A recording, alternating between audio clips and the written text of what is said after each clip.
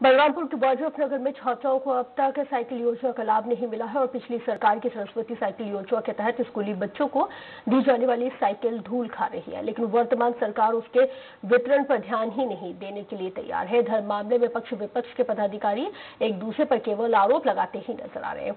वहीं स्कूली बच्चों को साइकिल वितरण नहीं किए जाने के मामले में भाजपा के मंडल अध्यक्ष विनोद जायसवाल ने कांग्रेस सरकार पर स्कूली बच्चों की अनदेखी और अधिकारियों पर लापरवाही के गंभीर आरोप लगाए। हमारे रमन सिंह का सरकार छत्तीसगढ़ में था, हम लोग भरपूर साइकिल भेजे। वो साइकिल आज पड़ा हुआ है। और इस क्षेत्र कांग्रेस की जो सरकार है, जब इनके वर्कर लोग इस सरकार के लोग, जब इसको वितरण नहीं कर पा रहे हैं क्या शासन चलाएँगे? हमारे क्षेत्र में आदिवासी लड़कियाँ स्कूल पैदल आ रही हैं।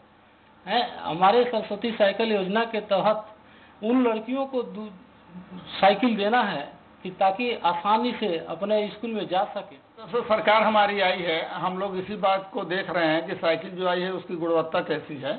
और गुणवत्ता ठीक ठाक न होने की वजह से हमारी सरकार अभी साइकिल को नहीं बांट रही है। और हमारी सरकार गुणवत्ता सुधार करके साइकिल बांटेगी और ज़्यादा से ज़्यादा साइकिल बांटेगी। इसमें भाजपा के लोगों को परेशान होने की ज़रूरत नहीं है।